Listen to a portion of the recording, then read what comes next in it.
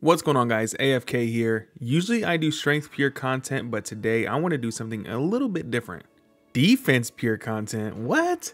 That's right, I want to show you the perfect guide for building your first defense pure, for whatever reason that may be. Let's just get crazy. No better way to get crazy than receiving a bond from Plateau for the amazing viewers and subscribers of my channel. Special thanks to Plateau who is a great friend, a great educator when it comes to Obby Maulers, and a great leader. If you'd like to win this bond, comment defense down below with your old school RuneScape username. Let's get back into blocking for what feels like 1000 hours.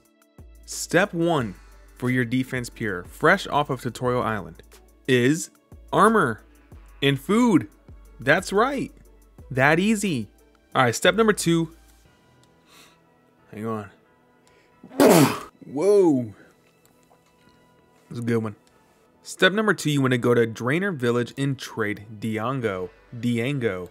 Let me know what you call him down in the comments below. Let's buy a Goblin Paint Cannon. Now let's go ahead and equip it, which means it'll take our shield away.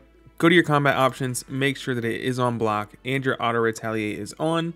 Then you're going to want to head over here to the Edgeville Monastery.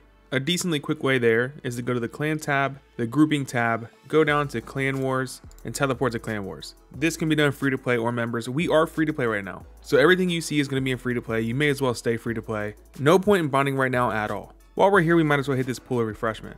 That's going to make sure that our run energy is back to 100.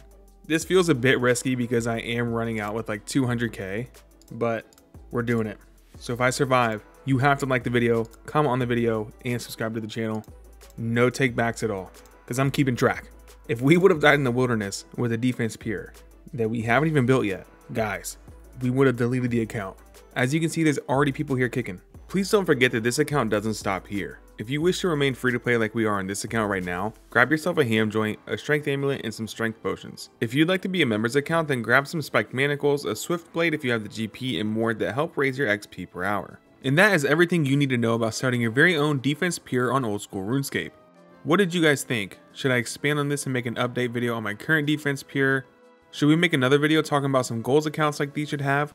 Let me know in the comments down below and I hope that the rest of your day or night that you're having right now go absolutely amazing and I will see you guys next time.